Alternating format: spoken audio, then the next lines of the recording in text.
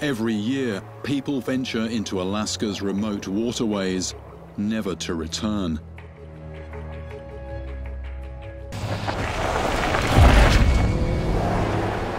One recent tragedy is typical. There are only a few clues, but enough to arouse my suspicions. A fishing boat was discovered upturned on a mud bank. Although their life jackets were found, the two occupants had vanished. If bad weather had been closing in, being experienced fishermen, they would have put their life jackets on. But they didn't. The only things missing besides their bodies were their fishing rods.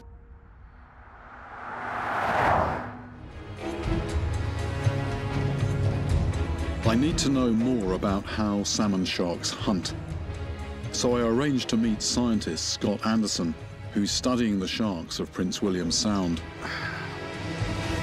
These salmon sharks are up here to feed on salmon, and they're very aggressive when they're feeding. They get it right on their nose, and they just will chase it right down. And, you know, they go for other things that are in the water when they get excited. They see jellyfish, and they look at them, and uh, we've had them bite our hydrophone or a camera.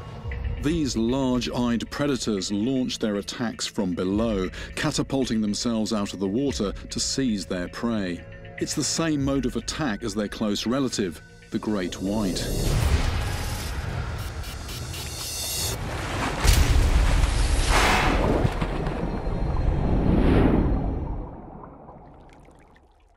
Great whites are known to mistake humans for food. Is the same true for salmon sharks?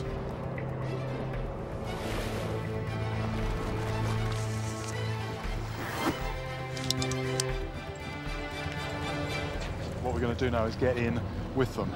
Uh, it does sound potentially rather a crazy idea, but it's the only way we're going to gauge how they react to people when they're actually in that feeding mode.